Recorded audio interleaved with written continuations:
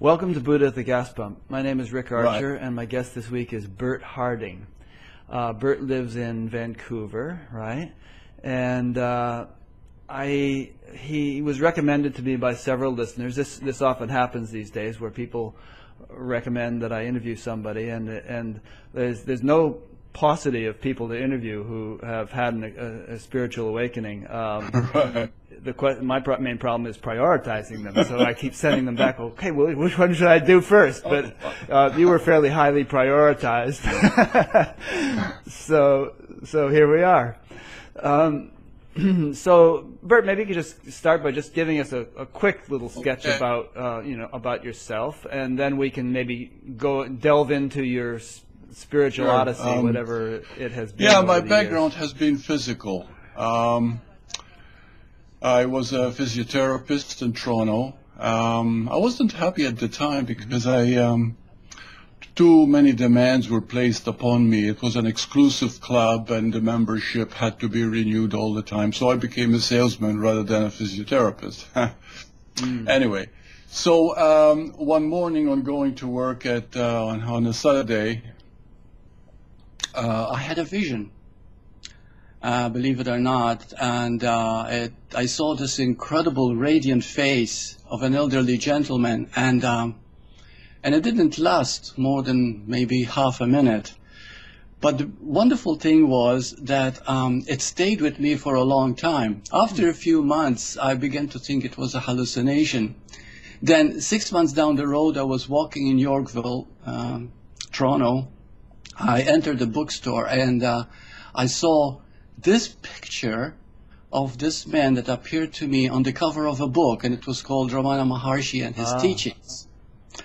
And um, when I saw the book, uh, I, I fell in love. I, I, I just I just fell in love. I read the book. Uh, it was a one dollar ninety five. It was a hundred page booklet, and uh, anyway, I read it all night, and I didn't sleep. The next morning, I went to work and I quit my job. I uh, I retired to a basement apartment. I had earned enough, invested enough to, to be able to live modestly, and I didn't want to do anything. Just meditate, chant His name, and uh, and that's all I did for about nine months. I was extremely happy and at peace. Something happened that moved me when I saw his picture that this was real. You know, it wasn't hallucination, and um, it, uh, it it's hard to describe. You know, it, it's it was an amazing thing. Anyway, um, um, I began to uh, sit in meditation for too long, quietly living inside. Um, I needed to start exercising. I started doing yoga. Then uh, a man from YMCA scout, I guess you would call him. He saw me and he asked me if I would give yoga classes. And um, within a short period of time, I was giving 13 classes a week. Wow. Then CBC had a program called Food for Thought, and um, they liked what I was doing. Um, and so they interviewed me on CBC Food for Thought, and um, there were no computers at the time, no email. So many phone calls were coming in and many letters coming in. They interviewed me again for half an hour, and after that, uh, CFTO approached me and we did a TV series, and I wrote a book called Be Aware, Be Free, and that started the ball rolling. Interesting. Yeah. Uh, uh, yeah, after my TV series, I came to Vancouver uh, because I wanted to travel. I wanted to see the uh, West Coast, and I fell in love with Vancouver. I just, you know, as soon as I arrived here, I thought, oh, this, this is it. This is my place. And um, and I started holding classes here. At, uh, I started first at CBC, which is uh, I'm not CBC, sorry, UBC, the University of British Columbia, and um, and at my place. So that was how it, it went. So when you had this Um, then, experience um, of, of Ramana, when you were walking down the street in Toronto and you saw this man's face in your mind's eye, had you had a, any sort of like spiritual background up to that point, or were you just sort of a regular Joe with a physical physical therapist, and all of a sudden you Um, saw this I was face? always, I was always interested asking questions. When I was a teenager, I used to suffer tremendously from loneliness. I used to have these incredible feelings of loneliness. But it was later, after getting to know Ramana Maharshi and his teachings, that what I was experiencing, it wasn't really loneliness, it was the expansion of my vastness, but I separated from it, and I saw I felt like an individual separate from the whole. Hmm. And so it felt like loneliness, and it was through that that I began to understand very deeply what I was asking uh, all the time. I had these questions. I was interested in psychology, but it never occurred to me the depth by which uh, came to me after this, uh, you know, teaching of Bhagavan Ramana Maharshi. However, I must state this that although I um, I became a teacher and uh, I wrote this book and I appeared on TV, it wasn't until I arrived in Vancouver and I had a relationship uh, in the year 2000 that uh, it became so difficult this relationship that I felt like um, catch 22 you know damned if I do damned if I don't there was mm, you know and I realized at that moment that all I knew was what I read and what I heard. And uh, I realized how ignorant I was. And um, strange as it may seem, it was that very awareness of my own unknowing at the moment that opened me up to the fact that I am a, I'm a human being, a being playing the human role of Bert. And um, and this became my basic teaching. I called it super sentience. Uh, super sentience means you are an aware being, and to be aware that you're aware is I call it super sentience. So are you saying? So that became Uh, so were you saying? Are you saying that um, you know you became aware of how ignorant you were? Uh, was it sort of like there had been a sort of a spiritual unfoldment on on uh, one level, but that as a human being uh, on that level you felt inadequate or, or ignorant. In other words, somehow the, the connection between the, your vast inner self level and your more kind of concrete human level wasn't wasn't tight. It wasn't a, good connection. There was something uh, missing. Yeah, um, yeah, there was the, what was missing was the fact that everything that I knew, even though it was very moving, it touched me and it changed my life with Bhagavan's appearance, Mm-hmm. yet it was still intellectual. It hadn't was still really what I had from hadn't really Yeah, kind of integrated on the gut level. It was more that, up, that's up the in word the head. Uh-huh. Yes, absolutely. Yeah, I wasn't living from it Hmm. um, until the year 2000. Yeah. Okay, so you're saying that in the year 2000 it somehow shifted from just being an intellectual, conceptual thing into more of an experiential thing. Right, exactly. Yes. Okay. Yes. And was it And this then I- difficult relationship that that uh, was the catalyst for that shift, or was there something more Yes, to I, would say that because it, um, I was, I, I had it always easy, you know, whether it was a relationship or anything. I just, you know, I had a very comfortable life after my, uh, my vision of Bhagavan Ramana Maharshi. I, I became my own boss. Even uh, when I appeared on TV or wrote a book, I, I was very comfortable doing my own thing. But um, then I began to feel that I'm a teacher now and I'm awake. Um, but the, the thing is that um, what I realized here is that, uh, how shall I put it? All I knew is what I've read, what I've heard, um, what other people told me, the teachings of others. But again, use the word integration like you did. Um, I didn't integrate it in my life so that I live from it. Yeah. So you were just kind of parroting other people's words in a way.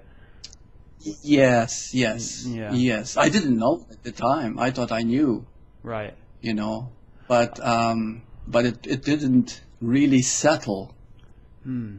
that I was living it. I wonder that sometimes about a lot of teachers. I, I, I don't. I like to give people the benefit of the doubt, you know, and not be a doubting Thomas. But I, I wonder sometimes whether they have, have just sort of gotten themselves so absorbed in intellectual concepts that they have mistaken those for the experience to which those concepts point, and that they're not really living it in a nitty gritty way. And I'm really not qualified to judge, but I always have that little suspicion, you know. Yes, um, yeah, I didn't realize it until then too that um, even some people have written books, spiritual books, who themselves were not really living what they had written about. Yeah. And uh, this is not their fault, it's just that it, it does happen that way.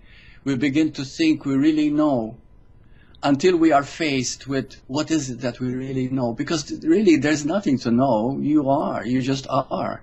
You are a presence. You are awareness. You are here now forever. You know, and it's not something to learn, but it's something to unlearn. um, It's more of for it's a it's more of a cleansing really from the conditioning rather than learning something new because when we sit very still, when we look at who we are, it is so obvious. Here I am looking at you, and uh, we are conversing. now. And you're, I don't know, where are you from? Idaho? I'm in Iowa.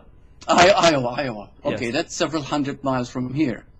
Quite a, few, Uh, couple of thousand miles from there, actually. Uh, Oh, it's uh, okay. I'm, I'm like four or five hours west of Chicago. Yeah, you see, and here we are talking together, here now, this very moment, mm-hmm. transcending time and space. Mm-hmm.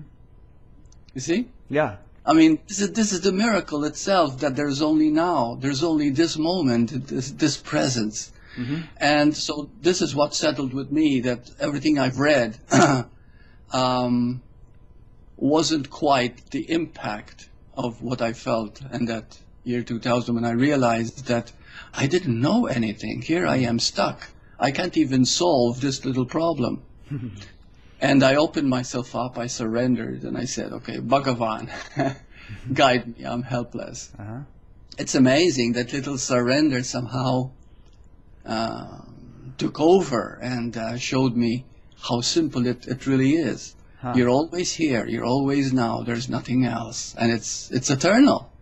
You were never born, you'll never die, you're just here, always. And to look at that and to um, it is not that difficult to actually realize it. And so what No. you're saying is that now that's experience that's experiential. You're not just articulating a, a concept anymore. You're saying that is your Oh no, this is 24/7 experience. this is it. Yeah. Yeah. Th- This this this is yeah. And was that realization uh, sort of uh, abrupt or sudden uh, when you had that sort of realization that you had just been in your head, or did it take some working out over a period of years to sort of really? It didn't no, it didn't uh, take time to work out. I never had anything like that before. Um, because I'm rather an intellectual person as a rule, at least prior to that anyway. Uh-huh. Uh, now, what happened is I was extremely frustrated, exasperated. I didn't know what to do. And uh, so I went to the washroom, and there was this incredible fear that I really don't know anything. I was pretending all the time. Here I was, I appeared on television, I wrote a book. People think I am so smart, aware, and, and I really am not. And um, and it was a shock. It, it was a real uh, ego crusher, and um, but it was so essential, and I'm so grateful to it oh yeah. because I realized I didn't know anything. There's nothing to know, and then in its in its place came this feeling where I was in the washroom at the time, and everything seemed to disappear. Mm.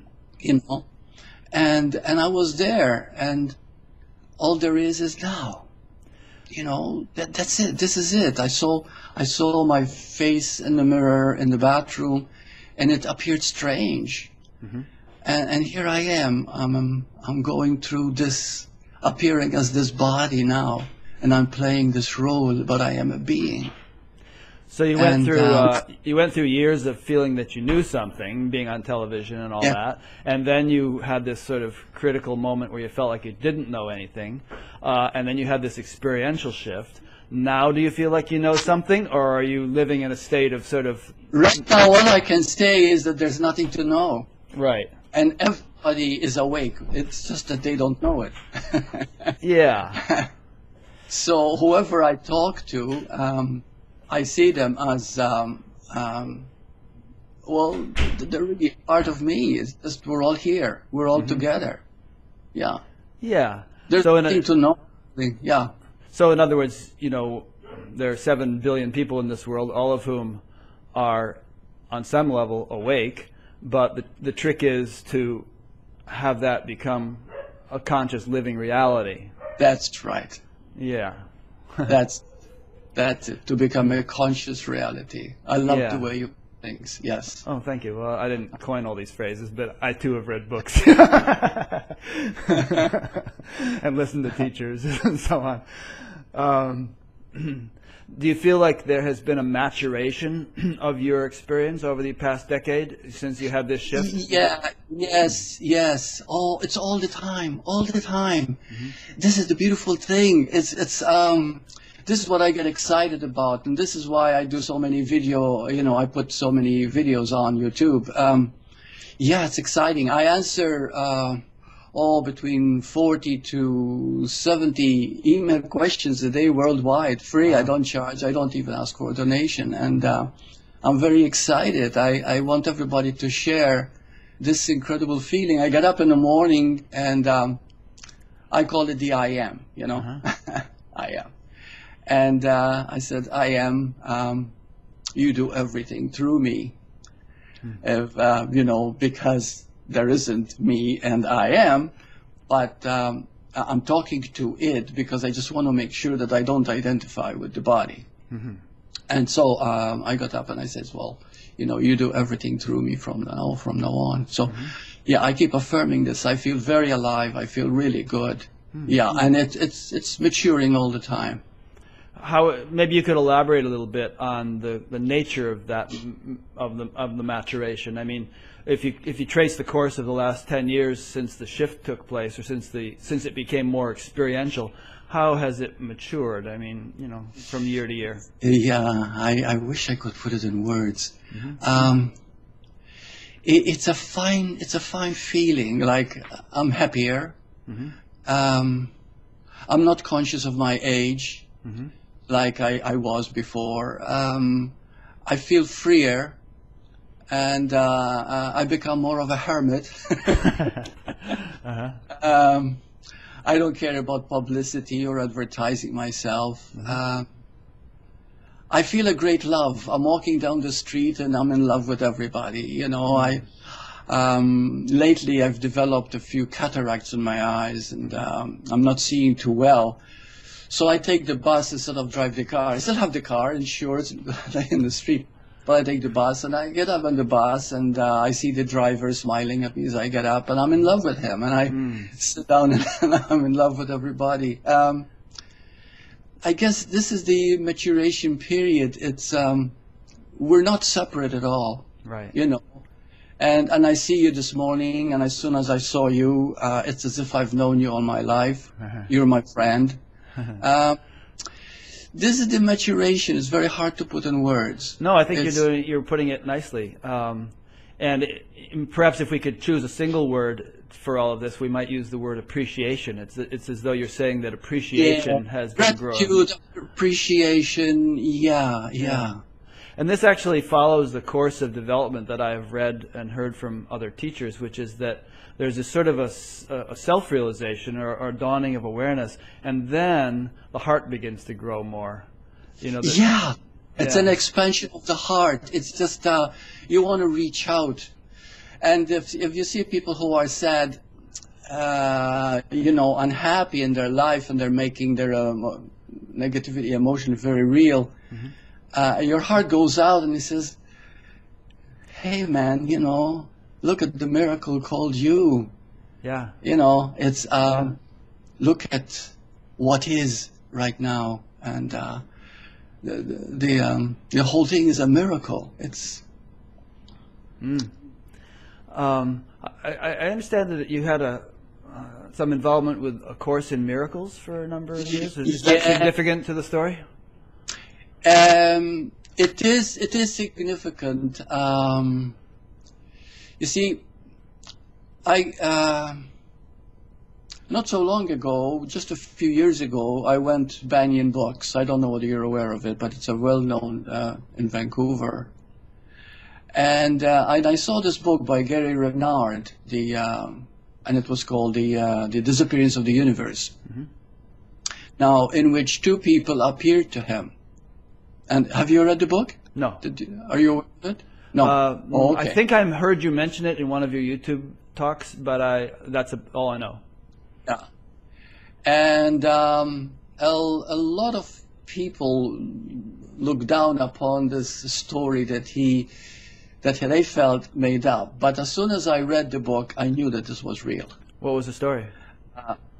That the his story, yes, yes, and uh, and he did a, a marvelous job about explaining the Course of Miracles. Uh-huh. I have great respect for A Course of Miracles, and as I read it again after my experience in 2000, um, I, I I saw how uh, incredibly beautiful it really is. Was he the guy who developed the Course in Miracles or something?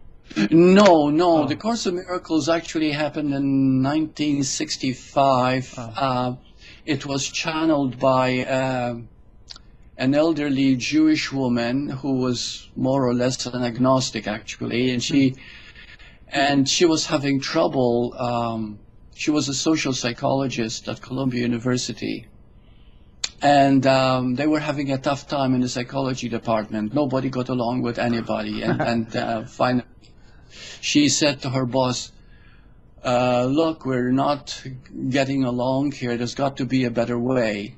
And after she did that, they all agreed that yes, there's got to, there's got to find a better way. She began to hear a voice, and uh, this voice wouldn't let go. She was afraid to talk about it because she felt that uh, people would see her as schizophrenic. But she um, wouldn't rest until she gave in to this voice. And the moment she started writing down what came through her, the voice said, This is a course of miracles. It is a required course. And she went on from then. Anyway, it, it went on for about seven years, I believe. Uh, I might be missing some of the details here, but um, and uh, it was published in 1975, I believe, something like that.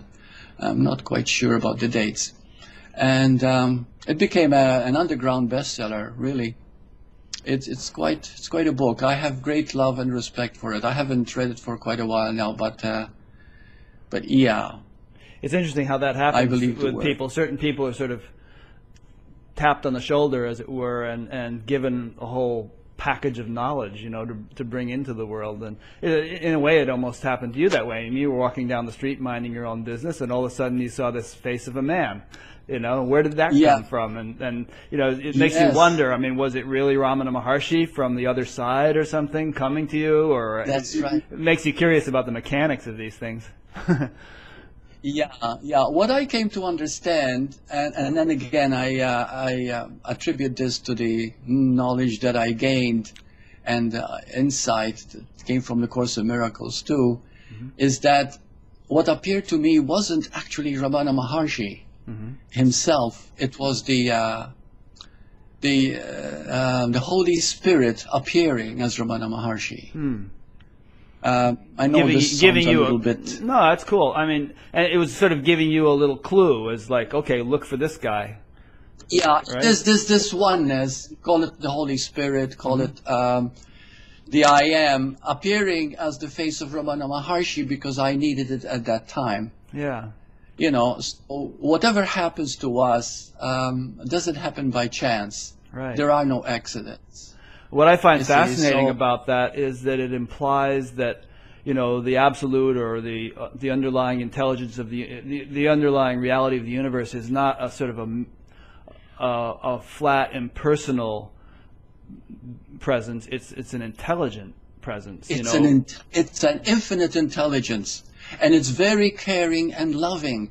See, this is one thing I didn't know, because when I started um, reading books like on Advaita prior to my realization, Mm-hmm.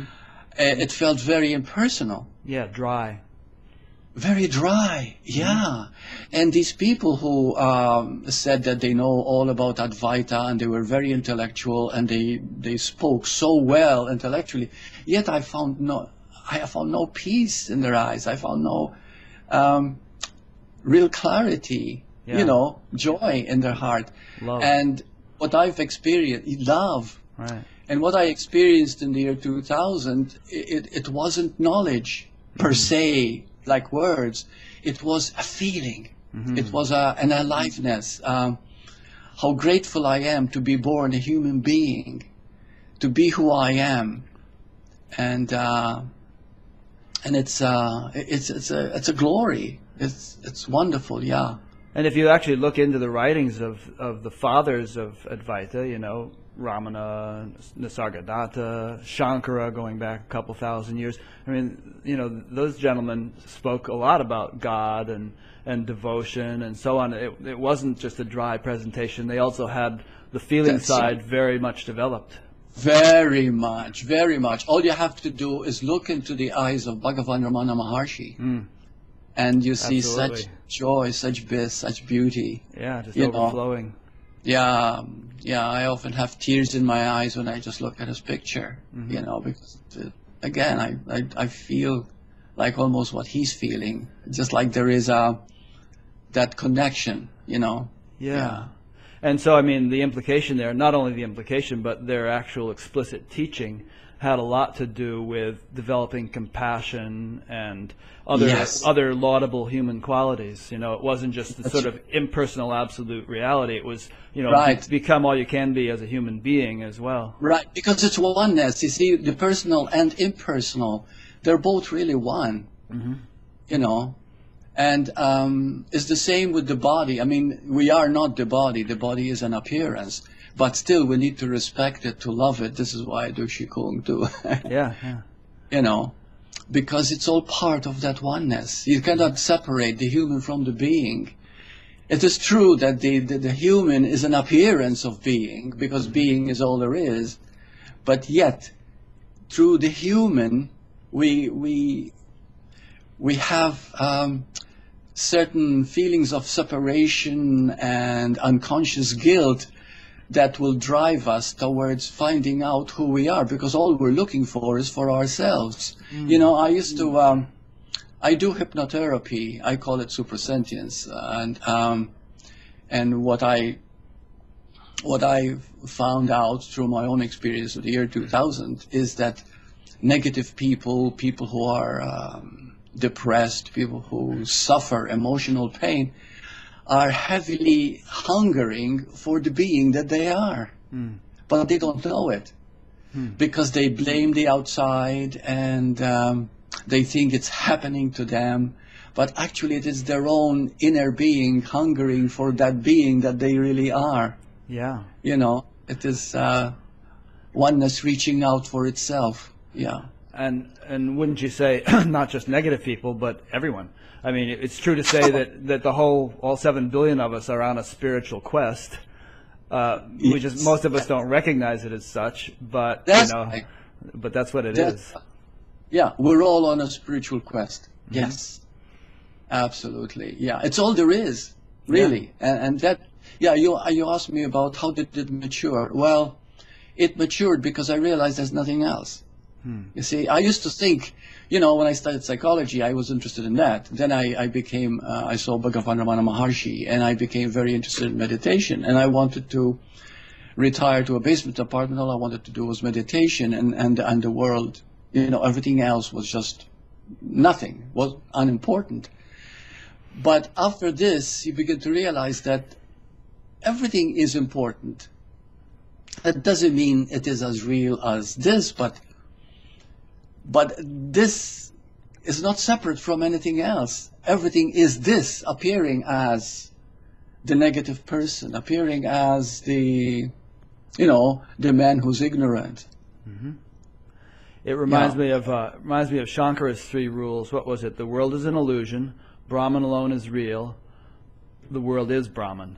You know, so like you just said, everything is this, meaning that Brahman reality, Everything- everything appearing is appearing as bird, appearing as the lamp, appearing as the dog, appearing as you know, Yeah. Yeah, every, everything is this. Yeah. And there is no really um, good or bad, right or wrong, should or shouldn't. There is just this, this presence all the time. Yeah, and Yeah. wouldn't but would would you could you not also say in the same breath that that what you just said is totally true, but on the other hand, there is good and bad, there is right and wrong, there is hot and cold, fast Yes. and fast and slow. It's like there's this paradox, you know, and you can't just sort of Yes. hide hide half of it under the rug. You sort of have to sort of take it all into one big package. That, that's right. That's right. That's right. That's right. Beautiful. Yeah. Oh, you're you're uh, yeah. You're putting it just great. Yes, that's it. Yeah. yeah. Yeah. Nothing Uh, is separate. But everything is just part of the play. You know. Mm-hmm. I think they call it Leela, don't they? Yeah. And sometimes people try to do that. They try to sort of shut out one whole half of the, the equation and just say, okay, this alone is real. Forget about all that other stuff. You know, don't look at the man behind the curtain. Uh, or else they say, you know, they they maybe they're totally on the relative side and say there is no Yeah. absolute. Um, Yeah. But, you know, both. Yeah. Both. Both. Mm-hmm. And and both are one, playing both parts. yeah. Yeah, a- that- that's yeah, that's the beautiful thing. You enjoy it all, you know. It's all part of the play. It's it's uh, and and it's wonderful because it's it's all coming from one primal force, love. Mm. You know, that's that's all we are um, really working, always recognizing. Yeah. So I go back to what you asked me. So how did it uh, mature? Yeah, I would say that the maturing is greater love capacity Mm. and there's no limit to it. You know, Yeah, I mean, a year from now, if we were to have, if you were to somehow suddenly be able to jump from what you're experiencing right now to what you're going to be experiencing a year from now, you'd probably notice a contrast. It was like, whoa, okay, Yeah. this is even better. yes, it keeps getting it keeps getting better. Yeah. like Yeah. like the Beatles said. Uh, there's a song, you know.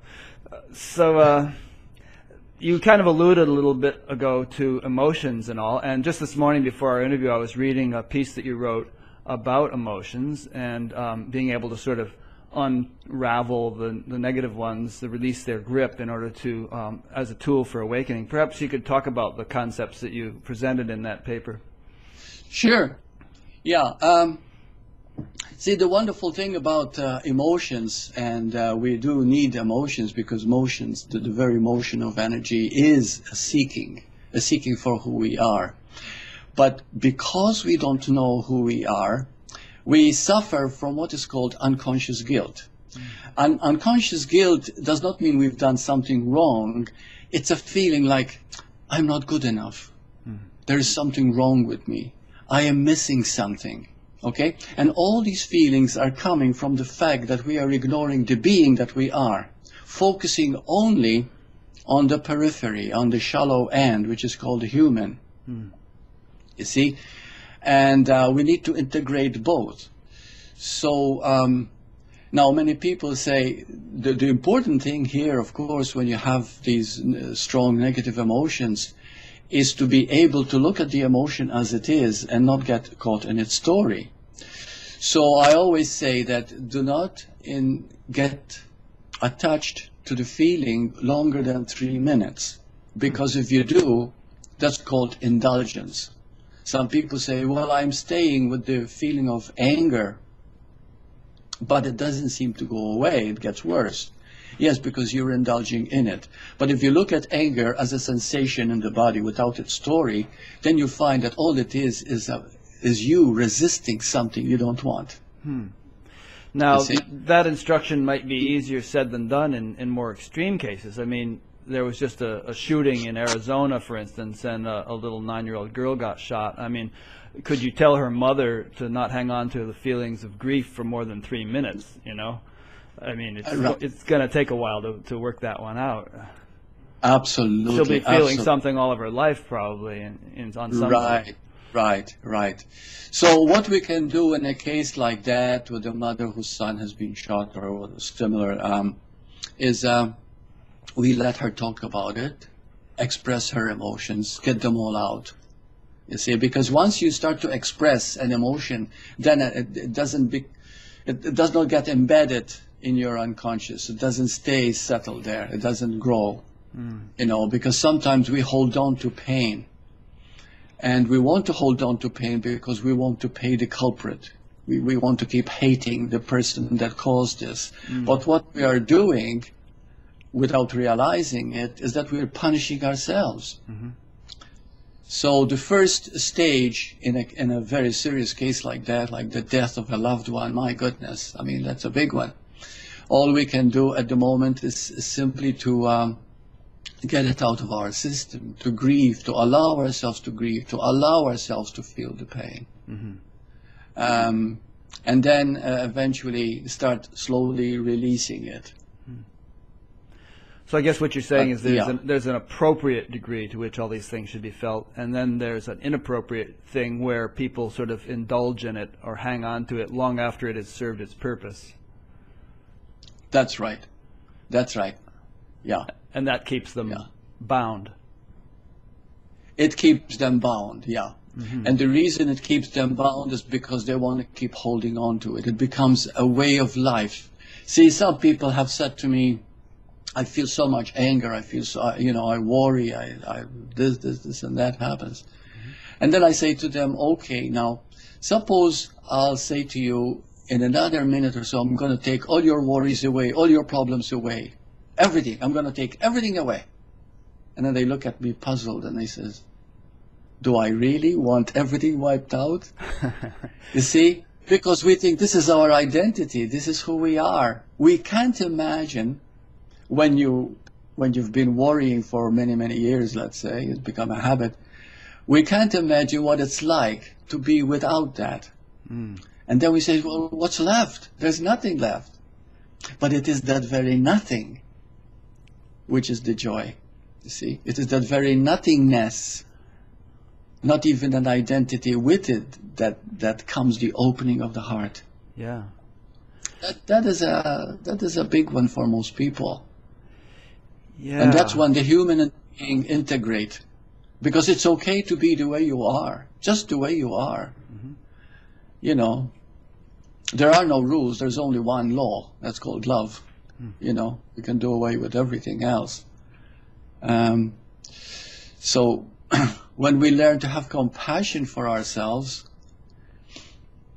and um, become totally empty, then what's left is is that love. So, what practical steps can a person take to learn that? It depends upon the level of understanding that they have, how ready they are to, to face the pain that's been haunting them. And so slowly, like uh, when people come to see me one on one, and and I do also Skype sessions, um, then we do several ones, and uh, and I find immediately whether they are ready to handle it or not. I can see by the way they express you know, I, I can see it through their eyes, through their voice, hmm. how much attached they are. If they are very attached, then I give them techniques, Dif- different different techniques to do. But ultimately, it all, it all comes down to one thing: the the strength, the courage to release. Mm-hmm. You Yeah, know? I heard that Ramana Maharshi used to do different approaches like that for different people. To some, he would just give a sort of a Mahavakya, you know, that thou art. To others, he would prescribe self-inquiry. To others, he would That's- prescribe meditation. To others, he would prescribe selfless service. It sort of depended upon where the person was at. Exactly. Right. Right. Yeah. That's why they say there are three kinds of yoga: bhakti, uh, jnana, and um, uh, hatha. Hatha. Oh, Oh, karma, karma, right. karma. yeah. Yeah, yoga of action.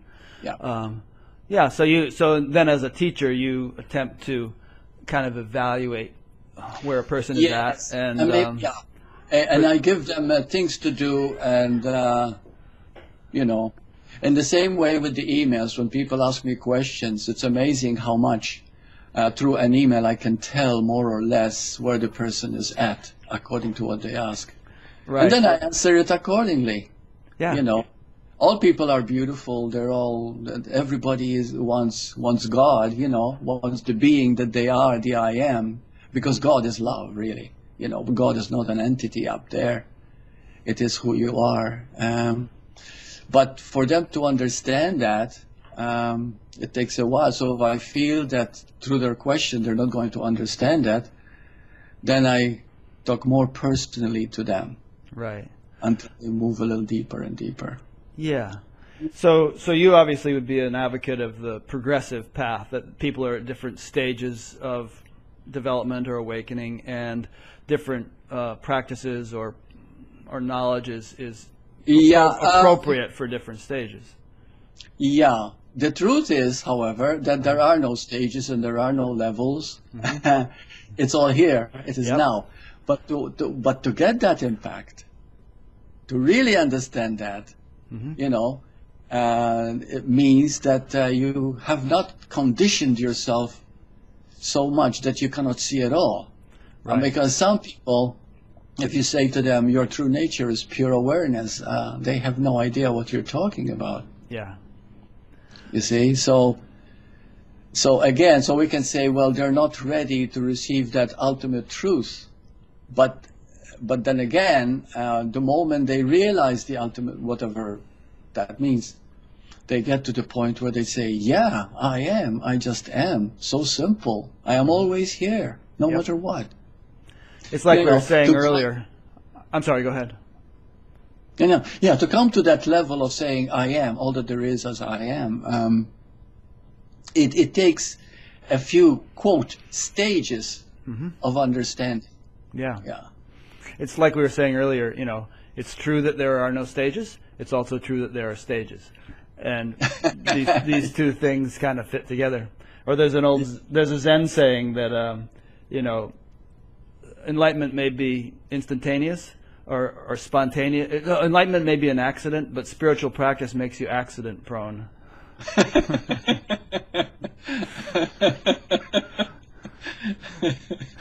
yeah. uh, So do you hold like uh, satsangs there as, with little groups, or do you mainly just do it online? I haven't lately. Uh, I'm starting in February um, some uh, workshops, full day workshops for to the uh, geared towards direct experience of one's true nature. Uh, people have. I find that um, a lot of people are waking up lately. Um, they're hungering for knowledge, and we are moving very, very fast in this in this age. You know, uh, especially after 10, 12, for example, is going to become even more sensitive, more geared towards expansion of awareness. So people are more um, open, without realizing it. They are. It's just that this soul, soul call it soul, hungering for this knowing. Yeah, Um, actually, that was going to be my next question. Is um, you know, among the people that you interact with, have you been seeing the kind of awakenings that you yourself had ten years ago, or are people sort of popping? Yes, uh, yes. The, uh, the people have changed tremendously. When I talk, I would say that 80% of the people that I get, they know what I'm talking about, more or less. Yeah, At least intel- intellectually, they understand it. Yeah. So I can move a little faster. Yeah. Whereas, um, you know, 10 years ago, 15 years ago, it wasn't the same. and among those eighty percent that get what you're talking about, um, are you seeing a pretty good percentage of those having an experiential shift? It's not just that they intellectually get it, but the, their experience is kind of fundamentally and permanently shifting.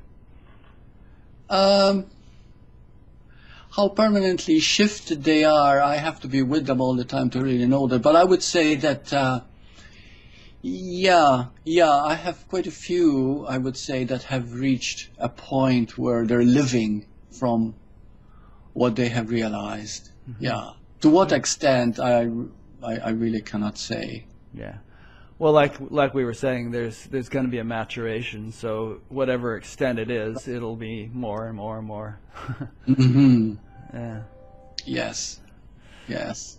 So a little bit more about this uh, this recent piece you wrote about emotions. Um, is this something that somebody could just do on their own, or do they need to kind of interact with you? And, and maybe you could say a little bit more about what it exactly it is one does. Yeah. Most people need guidance. That doesn't mean that they need a teacher because they are their own teacher. But some people are so conditioned through the identification with who they think they are that they give in immediately the moment an emotion takes over. So, so sometimes if they have a person with them who has realized, you know, the, the true nature, um, the presence enough of the teacher would be would be more of a catalyst to the realization of themselves. So this is where a workshop would be good because uh, by by being in that atmosphere, um, their chances of uh, having a direct experience are greater than if they were to, to do it by themselves. Yeah. It takes a certain maturation to to really uh, work on yourself by yourself. Something in you has to develop. It's called devotion to truth, and that devotion to truth takes quite a while to Yeah. come to fruition. And the uh, the traditional scriptures actually place great value on uh, satsang or on, on being in the company of the enlightened or That's- seek- that's- seekers of truth and all. They they regard that as a powerful technique Mm. in, in and of itself. Yes, yes, Yeah. I mean, Yeah. it's kind of like if you had a little piece of wood or something just sitting by itself and you tried to get it burning, it, it might be hard. But if you sort of throw it in a fire with a whole lot of other pieces of wood that are burning, you know, the, the whole thing yeah. Oh, goes. that's good. That's good. that's a good example. Yeah, uh, even even damp wood will get burning if it's thrown in the fire. Right, right. yeah. Yeah, yeah, that's that's the point. That's that's the point of a, a workshop. It's not so much giving words, giving example, because people have read a lot. There's so many books. Everybody has some knowledge of truth, at least intellectually. But um, a workshop on direct experience, straight direct experience, is would be very very good. Yeah. Yeah. So if, like if somebody comes to one of your workshops, um, they don't just sit and listen to you talk. There, there's some experiential component to it. Is that correct? Yeah, yeah. I will. I will interact with with the questions more. For example, uh, if somebody asks me, um, you know, can I feel God? And uh, I, I don't say, well, this is what you do. I'll say, what do you mean by God? You see, so by by hitting it directly, you know, you ask the person direct questions you open up their own way of asking because we're never we're never really saying what we're feeling you know um, um, one time i asked a person uh, and they said uh, I, I said to them he said well how, how, how do you know that awareness is all there is and i said uh, do you know that you exist and he said yes of course i said well how do you know he said, because I'm aware that I exist. I said, that's it. Uh-huh. See? Yeah. So awareness is self-recognizing. So this is how a person has a direct experience by actually hitting upon the fact that they know that they know, but they don't know that they know. So you make them know that they know by Yeah. again, uh, you know, making them recognize how simple it is when you look at itself. Ramana Maharshi used to call it inquiry, self-inquiry. Who So you're, you're kind of helping them notice something that's been there all along, but they have just overlooked it. That's right, and they overlooked it. Yeah, Yeah. yeah, Like And look, direct look, looking for your glasses when they're sitting on your head or something. right. Yeah, yeah. I'm sorry, you were about to say Uh, no, no. I, I guess Uh, that's something about direct experience. I think you were just going to say. Yeah, yeah. Direct experience is um, making the person know exactly what they're really asking, what they're really wanting, because all the time we're all seeking the same thing, but people think they are seeking something different. For example, um, I gave a talk lately at um, at the Road College of Counselors, and um, I asked them one question, and I said, "What is it you want more than anything?" No, no, sorry, no. The question was, "What is the most important thing there is?" And some, you know, some say power or fame or love or um, God or their religion or whatever. But the point is, what what is, for example, you chose happiness. What is happiness without being aware that you're happy? You see what I mean? So, in other words, without awareness, um, nothing can exist without awareness. That's what I'm trying to say. Yeah, it's Yeah. sort of the. It's like Oh, oh.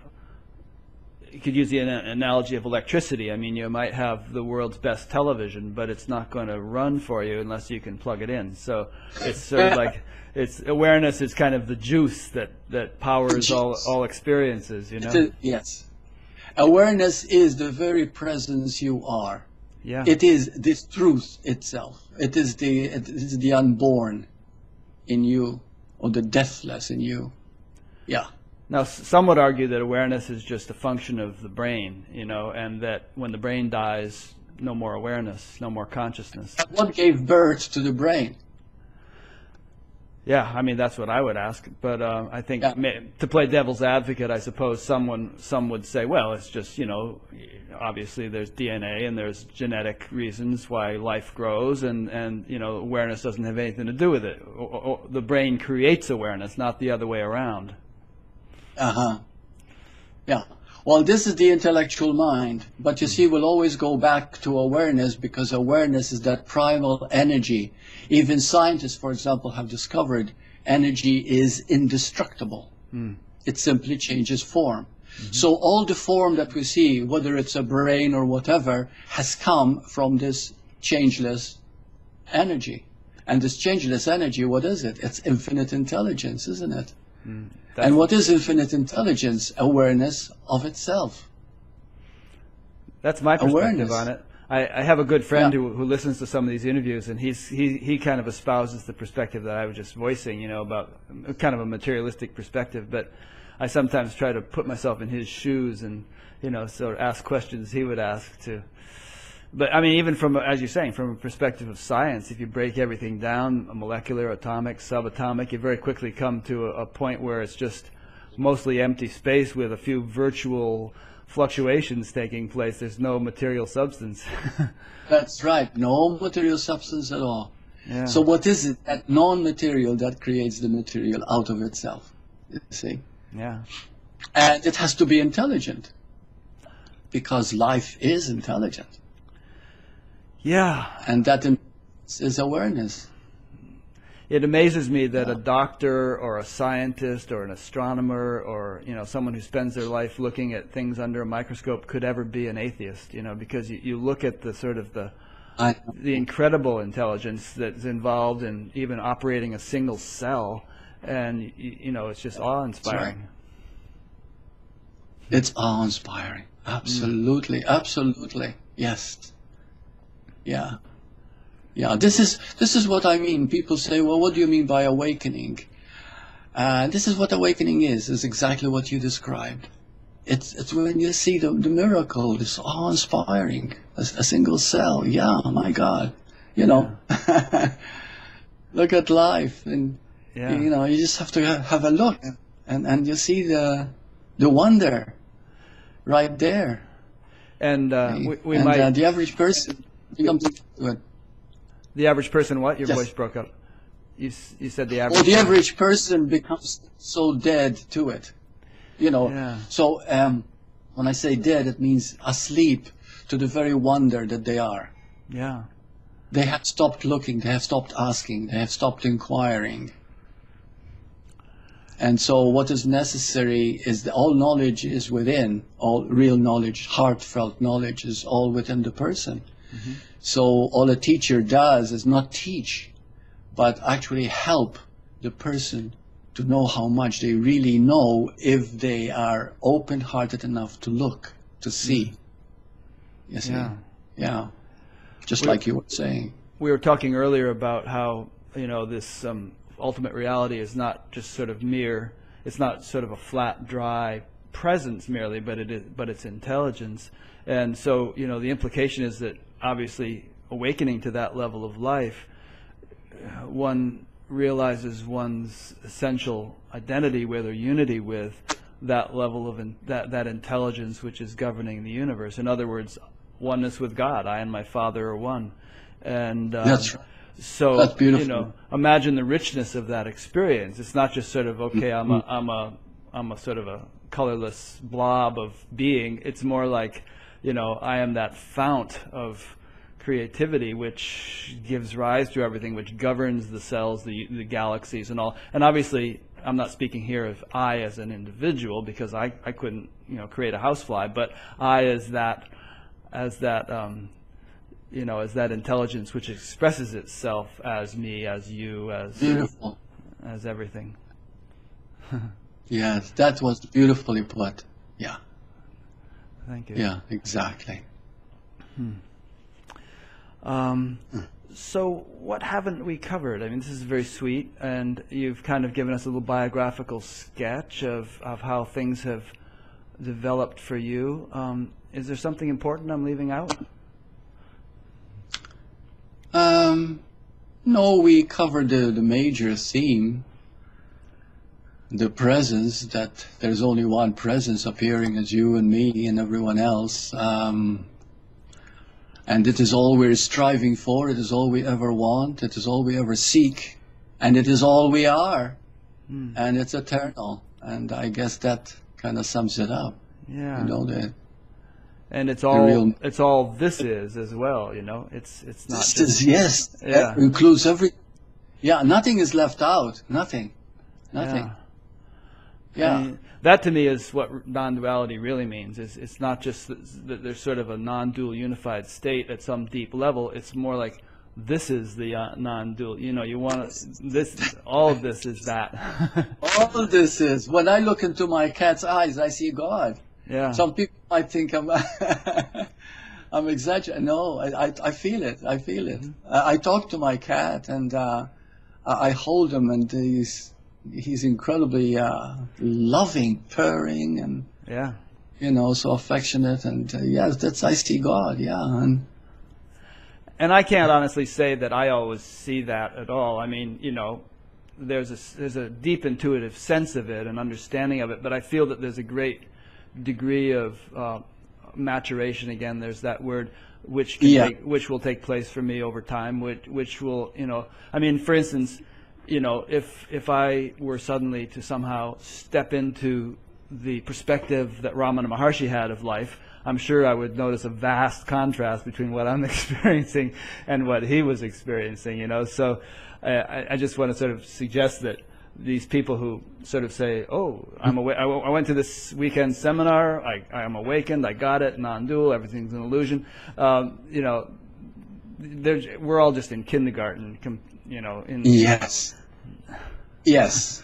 Yes. We're, we're growing all the time. There's never a time when we can say, I've arrived. You know? So if somebody asks me, Are you awake? Are you enlightened? all I can s- is laugh because it's there's this. We are. We just are. yeah. No one is in enlightened. Or you could say, you know. There's- to a degree, but there's more. You know, whatever. Yeah, much more. Yeah. Yeah, yeah. We're just expanding all the time. yeah. That's the beautiful. There is no ego in it at all. It's just there's just this oneness, this love. Yeah. And some people, if they hear you Yeah, talk that that way, they'll say, "Oh, then you haven't given up the search. You should give up the search, and then you'll really be there." Uh, what, what, you- what do you, have you heard No. that that way of speaking? No, they haven't said that to me, but um, but th- there is no search anymore because it's it's here. Yeah, It's it's I see it everywhere. If I, I grab my cat and I look into his eyes, I am there. If I I, I look at anybody uh, in the street, I'm there. Yeah. It's um, so it's not a matter of reading or studying about it or seeking. There's, there's nowhere to go. There's nothing to to uh, to grasp. It's it's here. Exactly. It's now. It's this presence. It's this breath. It's this breathing. It's it's looking, touching, feeling, knowing. It's Beautiful. all of these. Yeah. Yeah, it's very Yeah. beautiful. Um, and and and yet, paradoxically, you you were saying that certainly there is more growth yet to undergo. So I'm just I'm bringing out the point that Yeah, acknowledging the fact that there can be more growth doesn't mean that you're some kind of desperate seeker who's who's overlooking the beauty of now. Right. The two go hand in hand. That's right. That's right. Yeah. Being and the becoming are one. Right. Yeah. The two opposites are one. This is the um, this is the movement of life. Yeah. Good. Well, you're a beautiful man. You have this sort of loving beau- are you. beauty So in are your you. eyes, and you know, in in fact, Yeah. you look you look a lot like uh, Maharishi Mahesh Yogi did when he got old and lost his hair. He, he had this a, a facial structure similar to yours, and, and you know, and that that knowingness in his eyes. Uh, he, he was my he was my teacher for many years. Um, Oh, uh-huh. yeah. So, you know, I, I really Good. appreciate having had this opportunity to speak with you. Um, oh, you're very beautiful, Rick. Yeah. Thank you. Thank, Thank you. It was it was a joy being with you. yeah, it takes one to It know was. one, as they say. um, so let me just conclude by saying that you have been listening to uh, an interview uh, with Bert Harding. My name is Rick Archer, and this is a show which is called Buddha at the Gas Pump. The implication of that term being that in ordinary, everyday circumstances, you may meet some enlightened people in this day and age. They're everywhere. Um, and uh, we'll do we do one once a week. Um, they're available on YouTube as a podcast, on Facebook, and the, the homepage for it all is batgap.com, B-A-T-G-A-P. Oh, They're all archived there, and you can find links to higher resolutions of the videos on YouTube and Facebook and so on. And um, my next interview will actually be tomorrow night. Uh, although you won't see this uh, in one day after you see this one, because it takes a while to produce them, but it's going to be with Genpo Roshi, who is a, a Zen teacher. So, thank you again, Bert, and thank you Thank to you. all my listeners, and we will see you next time.